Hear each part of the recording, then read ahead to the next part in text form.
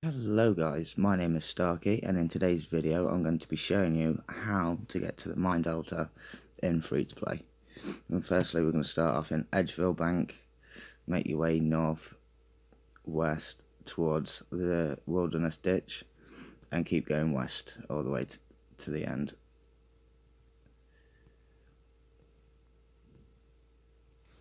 Now there's two ways you can do this, you can come around the wilderness side which I find is easier.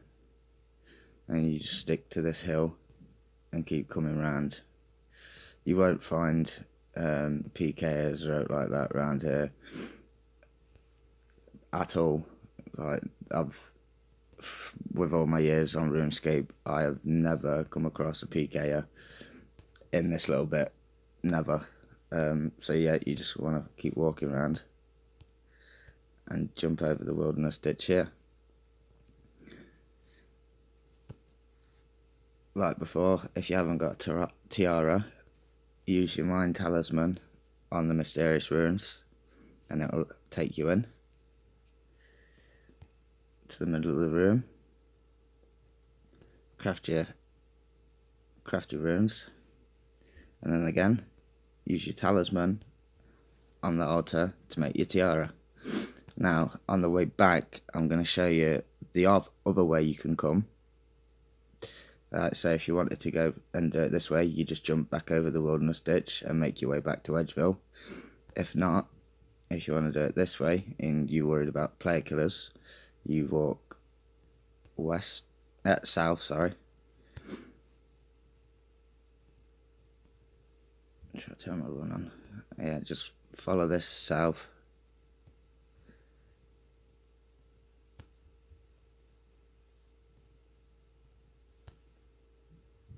save will come out at the bottom shortly.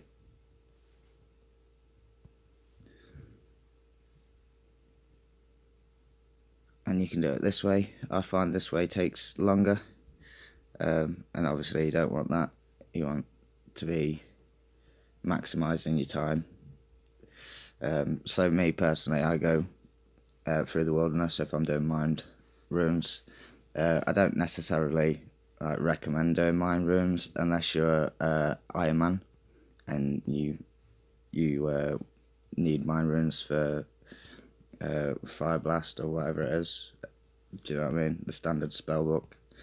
But yeah, so you just make your way to Falador and you can use this bank instead and just make your way north again uh, like that.